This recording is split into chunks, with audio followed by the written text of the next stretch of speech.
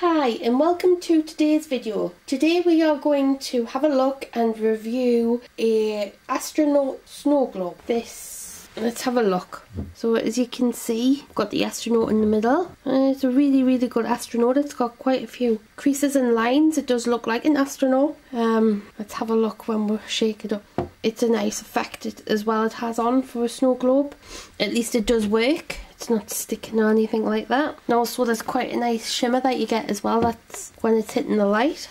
It is really heavy, so it does feel really, really secure when you're putting it down. Um, and that the glass is quite thick as well on the top. Um, I did buy this from Asda, but it is made by Glitter Globe. And my son really likes it as he likes things to do with space. Um, so overall I would give this 5 out of 5 for the look, uh, for how it works, um, how easy it is for you to have the effect of snow dropping down and for the cost it was it was quite a really good value for money. Thanks for watching, hope to see you next time. Have a spaceman day, bye!